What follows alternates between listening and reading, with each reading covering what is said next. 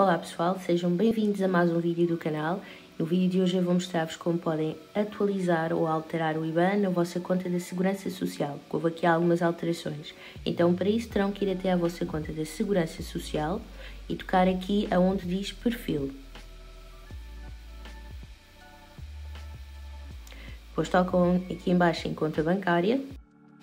Nesta parte é só andarem para baixo e tocar aqui onde diz Alterar Conta Bancária terão que colocar o vosso IBAN ou número de conta, podem ir até o vosso home banking, uh, no meu caso estou na Caixa Geral ou aqui é contas à ordem, IBAN e Big Swift, e depois é só colar uh, o IBAN e copiar aqui na Segurança Social, neste campo onde diz IBAN.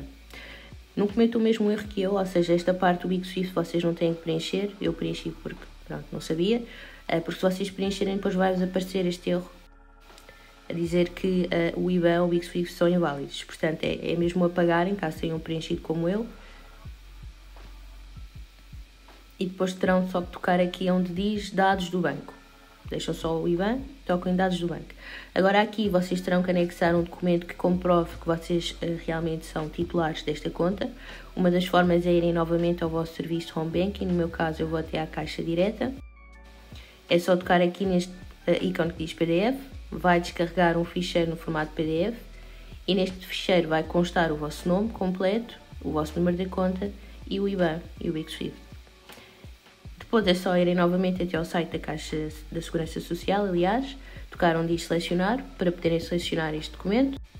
Uma vez selecionado o documento, é só tocarem aqui embaixo onde diz registar conta, confirmam se os dados estão todos corretos Caso esteja, é só tocar novamente onde diz registar conta.